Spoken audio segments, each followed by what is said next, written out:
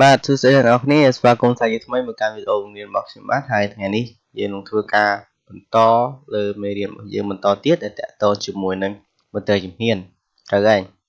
មន្ទិលជំហានគឺជាមន្ទិលមួយដែលមានលក្ខណៈពិសេសដែលវាដើរជាជំហានជំហានហើយកាលពីវីដេអូមុនអ្នកទាំងអស់គ្នាបានអឺបានមើលរួចមកហើយតកតជាមួយនឹងវីដេអូបង្ហាញអំពីគោលការណ៍ដំណើរការរបស់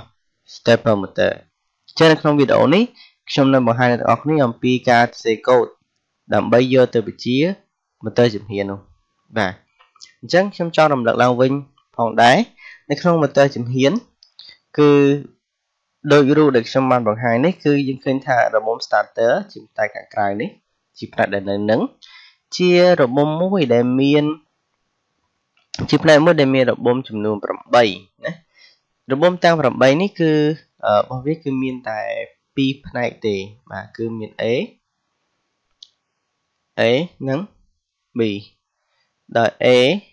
មាន A បូកបាទគឺខ្សែ A បូក A ដក B គឺ B បូកនិង B ដកបាទអញ្ចឹងរបំនៅក្នុងហ្នឹងគឺមានតែ A B នឹងឯង A B A B A B A B អញ្ចឹងទៅអញ្ចឹងពេលដែលដំណើរការ គឺវាធ្វើការបោះភ្លើងទៅឲ្យរបំនីមួយនីមួយម្ដងម្នាក់ម្ដងម្នាក់ជាជំហានបាទអញ្ចឹងពេលដែលវាធ្វើការបោះភ្លើងទៅឲ្យរបំនីមួយនីមួយជាជំហានម្ដងមួយម្ដងមួយម្ដងមួយរួចហើយនោះនឹងធ្វើឲ្យផ្នែកវិលដែលយើងហៅថា router នោះនឹងធ្វើការងាកទៅតាមរបំនៃរបំ starter នេះបាទវានឹងធ្វើការងាកទៅរក ម្ដងតិចម្ដងតិចម្ដងតិចអញ្ចឹងថ្ងៃនេះខ្ញុំនឹងបង្ហាញអ្នកទាំងអស់គ្នាអំពីការសរសេរកូដ từ ទម្រង់2ណាបាទពីរទម្រង់ផ្សេងគ្នាដែលយើងអាចធ្វើការបញ្ជាទៅលើ motor stepper motor របស់យើងបានអញ្ចឹងជាដំបូងខ្ញុំបង្ហាញវិធីសាស្ត្រសាមញ្ញមួយសិនដែលយើងធ្វើការបញ្ជា stepper motor គឺដោយបញ្ជូនតង់សុងទៅឲ្យរបំម្ដងមួយម្ដងមួយជាជំហាន បាទអញ្ចឹងឥឡូវយើងចូលទៅកម្មវិធី program បាទនេះគឺជាកម្មវិធី Arduino ដែលខ្ញុំសរសេររួចមកហើយចឹងអ្នកនរគ្នាអាចធ្វើការ VA កូដនឹងតាមខ្ញុំចឹងទៅ គឺដំណើរការបានដែរឥឡូវខ្ញុំធ្វើការបញ្យល់ដល់អ្នកនរគ្នាពីមួយចំណុចទៅមួយចំណុចដើម្បីឲ្យមានភាពងាយស្រួលក្នុងការយល់ថាតើហេតុអ្វីបានទៅសេបែបហ្នឹងហើយទៅសេបែបហ្នឹងទៅយើងបានទិន្នផលអីខ្លះ បាទតោះអញ្ចឹងដំបូងខ្ញុំធ្វើការប្រកាសបាទធ្វើការប្រកាស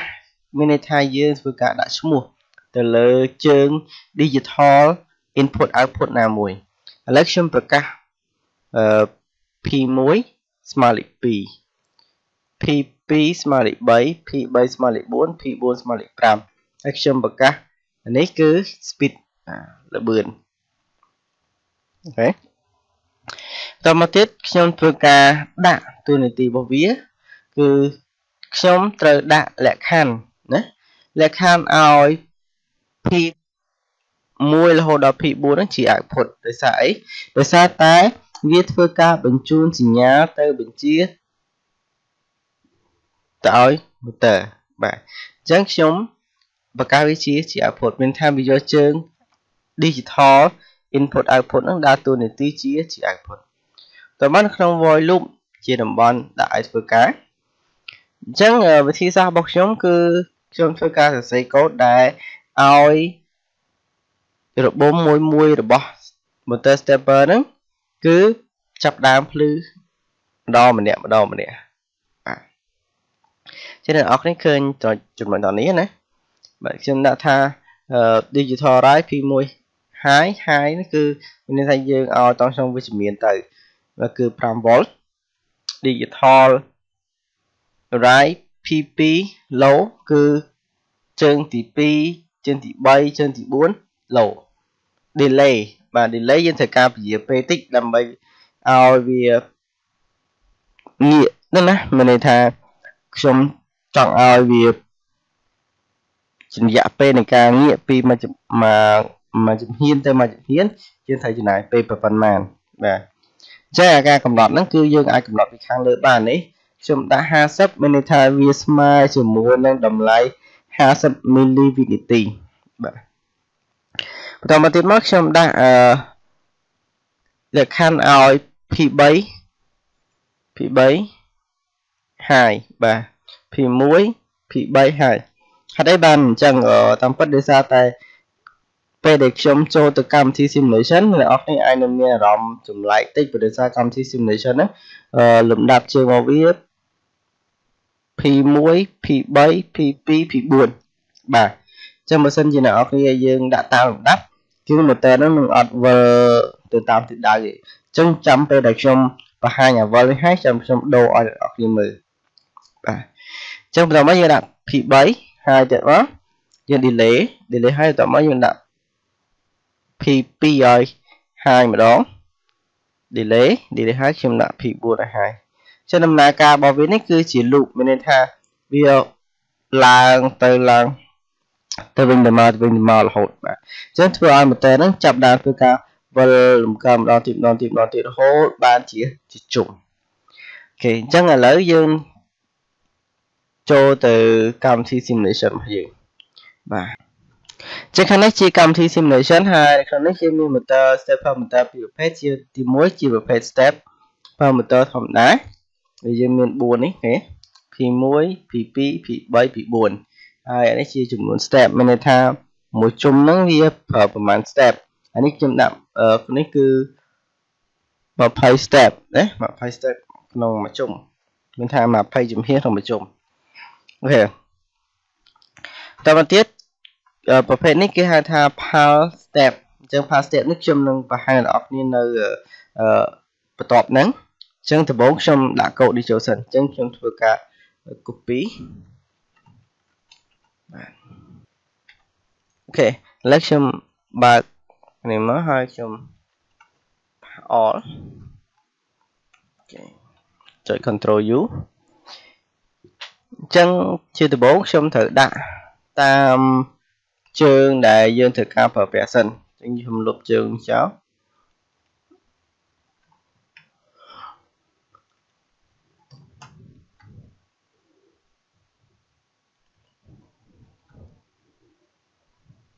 ដើម្បីកុំឲ្យវាជន់គ្នាណា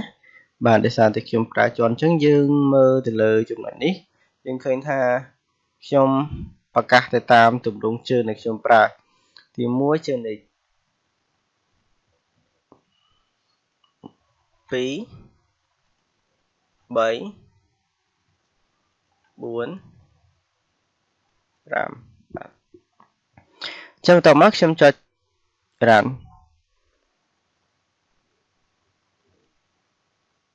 អូខេដោយសារតែលេខ5នេះជា input ចឹងខ្ញុំទៅដកវាចោលសិន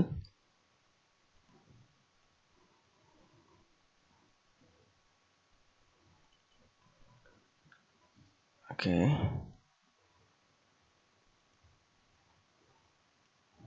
បាទចេញអ្នកនរគ្នាឃើញហើយថាដំណើរការនៃការវិលរបស់ motor នេះគឺវិលហើយឥឡូវយើងឃើញថាវារៀងវិលញាប់អញ្ចឹងបើសិនជាខ្ញុំចង់បន្ថយល្បឿនបានគឺខ្ញុំទៅបន្ថយ delay គឺរយៈពេលនេះឯងនេះ speed នេះណាអញ្ចឹងខ្ញុំដូរ speed ហ្នឹងខ្ញុំដូរឲ្យវាធំជាងនឹងតិចទៀត500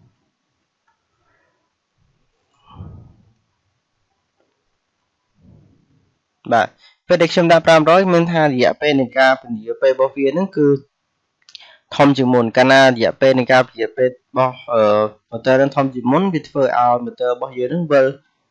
វិលយឺតព្រោះវាទៅដល់ឯហ្នឹងឈប់ឈប់ក្នុងរយៈពេលហ្នឹងគឺមានថា500មីលីវិនាទីសិនទៅវាបន្តដំណើរទៅមុខទៀត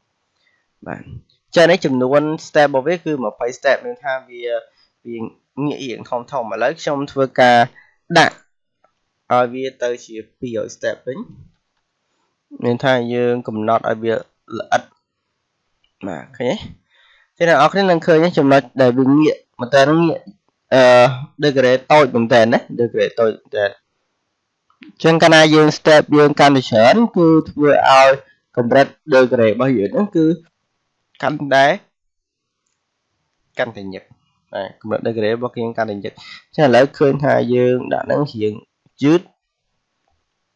ខ្ញុំដូរអានេះមិនដាក់ត្រឹម50វិញបាទគេចឹងចម្រាន់បាទចឹងឃើញថាវាវិលទៅ smooth បាទឃើញឃើញទៅវិលទៅឬតែម្ដងបាទចឹងបើសិនជាខ្ញុំបន្ថយទៀតបន្ថយទៀតខ្ញុំបន្ថយមកនៅត្រឹមត្រឹម10 ដោយចំនួន step ខ្ញុំនៅរក្សាដដែលណាចំនួន step ខ្ញុំនៅរក្សាដដែលអញ្ចឹងអឺដំណើរការរបស់វាតើវាយ៉ាងម៉េចណាញ៉េ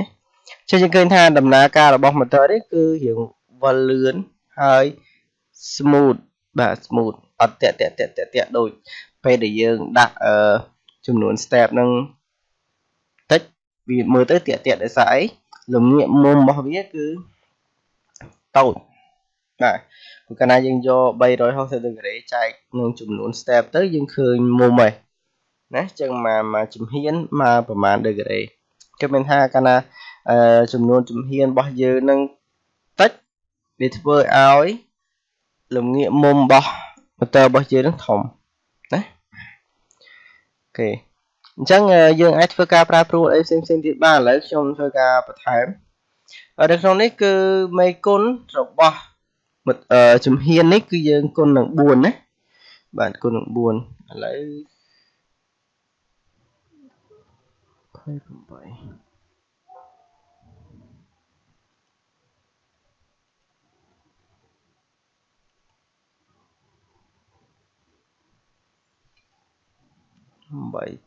ឥឡូវខ្ញុំដាក់8ឲ្យស្ទើរតែម្ដង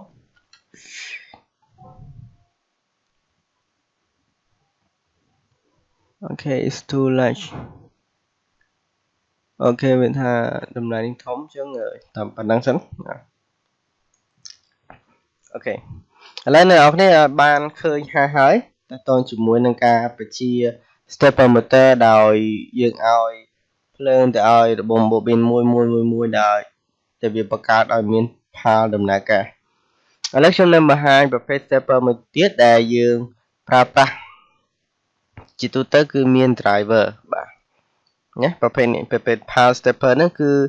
ក្នុងហ្នឹងគឺវាមាន driver របស់វាស្រាប់ណាបាទគឺចង់បង្ហាញអញ្ចឹងអញ្ចឹងទីទៀតអ្នកនរគ្នាពេលដែលសរសេរកូដគឺយើងមិនអាចបញ្ជូន direct ចឹងទៅឲ្យ motor ទេ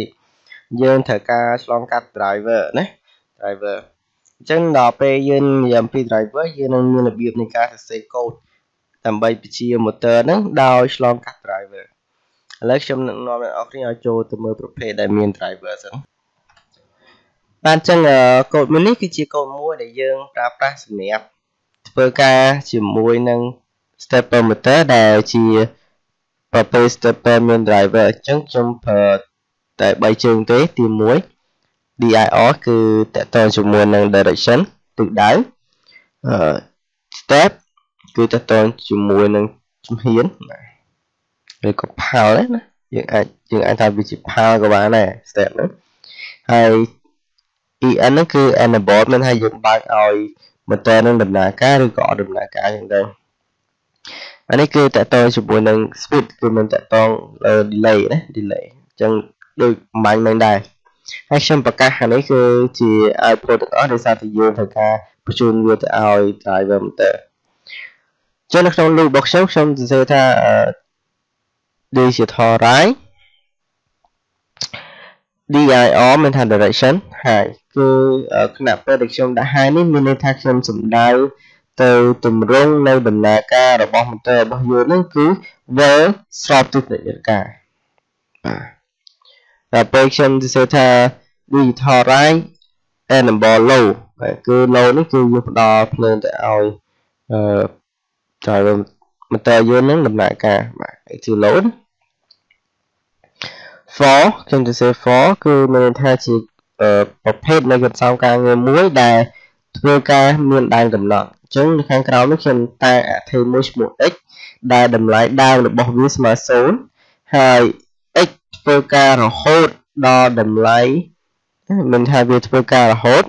ដល់តម្លៃ នៅក្នុងតម្លៃដែល x ហ្នឹងទៅជាស្មើ200អញ្ចឹងបើសិនជា x ហ្នឹងស្មើ201គឺវាជប់ដែរ x បូកបូកមានថា x ធ្វើការកើនឡើងម្ដងមួយតួលេខម្ដងមួយតួលេខអញ្ចឹងណាដំបូងវា0បន្ទាប់លើកទី2ស្មើ1លើកទី3វាស្មើ2អញ្ចឹងទៅអញ្ចឹងវាឡើងរហូតដល់តម្លៃហ្នឹងស្មើ200អឺស្មើ200 យើងនៅធ្វើការប៉ុន្តែពេលដែលតម្លៃលេខហ្នឹងស្មើ201វាជប់ធ្វើការពួកអីវាខុសលក្ខខណ្ឌនេះដោយសារតែលក្ខខណ្ឌយើងកំណត់ថាឲ្យតូចជាងឬឬស្មើ200អញ្ចឹងខ្ញុំសរសេរក្នុង anagram នេះខ្ញុំសរសេរថា digital write step high បន្មក delay sp គឺរយៈពេលដែលខ្ញុំកំណត់ខាងលើដល់មក digital write step low មានថា ខ្ញុំធ្វើការបើក power on off on off on off on off on off ក្នុងក្នុងរយៈពេលពជាពេលបុកជុំមួយបាទណាអញ្ចឹងយើងសរសេរកូដប៉ុណ្ណឹងទៅគឺយើងអាចដាក់បញ្ជាឲ្យ motor ដំណើរការណាបញ្ជាឲ្យ motor យើងដំណើរការបានគេអញ្ចឹងទីទីខ្ញុំនឹង copy កូដនឹងចូលទៅប៉ុន្តែខ្ញុំភ្លេចមួយមួយគឺ ភ័យយើងថាមុននេះខ្ញុំនិយាយប្រាប់អ្នកនរគ្នាថាយើងបង្ហាញអំពីលក្ខណៈខុសគ្នារបស់ជើងណាហ្នឹងហើយបើសិនជាយើងបង្កើតតាមលំដាប់ P1 P2 P3 P4 ហ្នឹងវានឹងមានបញ្ហាអីតោះចឹងខ្ញុំបង្ហាញបន្តិចសិនមិនដោយសារតែនិយាយទៅជាប់មាត់ហួសមកដល់នេះណាជាងខ្ញុំបកទៅនោះបាទអញ្ចឹងកន្លែងនេះខ្ញុំធ្វើការផ្លាស់ប្ដូរតម្លៃរបស់វាវិញចឹងទី1 នេះខ្ញុំដូរទៅជា high វិញអូខេខ្ញុំដាក់ low ហើយនេះ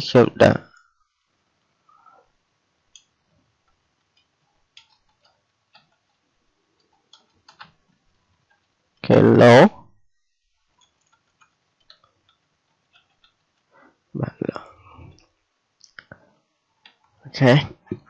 ដាក់ hello បាទអូខេតោះឥឡូវខ្ញុំនឹងបង្ហាញអ្នកនរថាតើបើសិនជាខ្ញុំដាក់ជាលំដាប់គ្នាអញ្ចឹងតើវានឹងមានបញ្ហាអីកើតឡើងបាទអ្នកនរគ្នាឃើញចឹងវាងាយអត់បានទេដោយសារតែលំដាប់ស្ថានភាពវាជាក់ស្ដែងមែនទែនដល់ P3 នេះគឺជាលំដាប់ទី2ណាហ្នឹងហើយដល់ពេល P2 នេះជាលំដាប់ទី3ចឹងដល់ពេលចឹងទៅវាលក្ខណៈថាវារងងាកទៅមុខហើយតែថាអាក្រោយនេះមានភ្លើងមកទាញមកវិញបាទអូខេតោះណា អញ្ចឹងខ្ញុំនឹងបកទៅអា motor ដែលមាន driver បាទដូចអ្វីដែលខ្ញុំបានបញ្យល់ដល់អ្នកនរពីមុនអញ្ចឹងចឹងខ្ញុំធ្វើការ copy យកតែម្ដងទៅដើម្បីកុំឲ្យពិបាក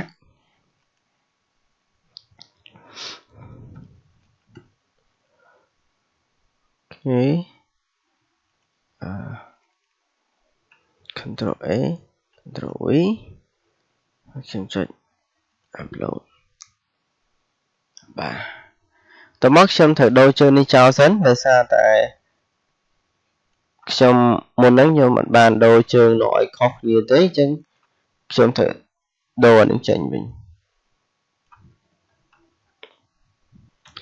បានចឹងយើងធ្វើការដាក់តម្លៃរបស់យើងទី1យើងដាក់លើ direction ដែល direction របស់យើងគឺប្រាស់ប្រាស់ជើងទី2បាទតមកទៀតយើងដាក់ទៅលើ step step របស់យើងប្រើប្រាស់ជើងទី ទី3អូខេឥឡូវនេះខ្ញុំសុំទោសខ្ញុំសុំណា2ហើយបន្តមកទៀតគឺ enable គឺយើងប្រើជាលេខជាលេខ4អូខេតោះអញ្ចឹងបន្តមកយើងធ្វើការ run តែម្ដងបាទយ៉ាងអរគុណឃើញយើងគ្រាន់តែកំណត់ប៉ុណ្្នឹងទៅគឺដំណើរការនៃ motor នេះគឺអាចធ្វើការវិលបានហើយតែទៅខាងក្រោមនេះដូចគ្នាមានន័យថា 200ជំហានក្នុងមួយជុំតែយើងឃើញថាដំណើរការវារហូតចឹងឧទាហរណ៍តែខ្ញុំចង់ចង់កំណត់វាឲ្យធ្វើតែមួយជុំទេចឹងខ្ញុំធ្វើម៉េចខ្ញុំបង្កើតគោលបន្ថែមនៅខ្ញុំធ្វើការប៊ូតុង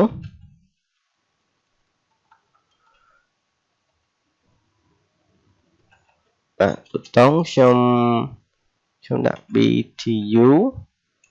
ស្មើ5មកខ្ញុំយកជើងលេខ5យកទៅប្រើហើយអញ្ចឹងពេលដែលខ្ញុំយកអីមួយទៅប្រើខ្ញុំត្រូវប្រកាស pin mode ចឹងខ្ញុំ btu ជា input បាទចឹងនៅក្នុងនេះខ្ញុំសរសេរលក្ខខណ្ឌមួយថាមិនថាលក្ខខណ្ឌក្តោបខាងក្រោមនោះ if sen digital read បាទ read ចេញពី BTU ហ្នឹងស្មើស្មើ hai ok ស្មើស្មើហើយបន្ពុះចោអូខេអញ្ចឹងខ្ញុំមកបិទនៅកន្លែងនេះបាទ upload អូ ខេមានបញ្ហាមួយ